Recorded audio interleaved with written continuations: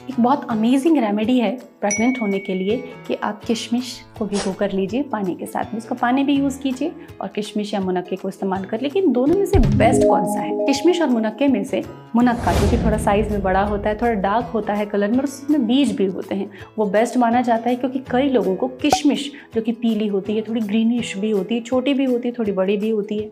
तो उसको लेने से एसिडिटी ट्रिगर होती है, कई लोगों को हर्टबर्न होता है और कई लोगों को इससे डाइजेस्टिव इशूज़ होते हैं। लेकिन मुनक्का सेफेस्ट है, ये आयुर्वेदिक दवाओं में भी काफ़ी यूज़ में लिया जाता है और मुनक्का लेने से कोई भी डाइजेस्टिव इश्यूज़ आपको नहीं आते हैं। ये इंपॉर्टेंट इसलिए है क्योंकि ये स्पर्म की क्वालिटी और काउंट को बढ़ाता है और इसमें एक स्पेशल प्रोटीन होता है एल आर्जिनिन और काफ़ी एंटीऑक्सीडेंट्स होते हैं। प्रेग्नेंट होने के लिए इसे आप ज़रूर उपयोग करें।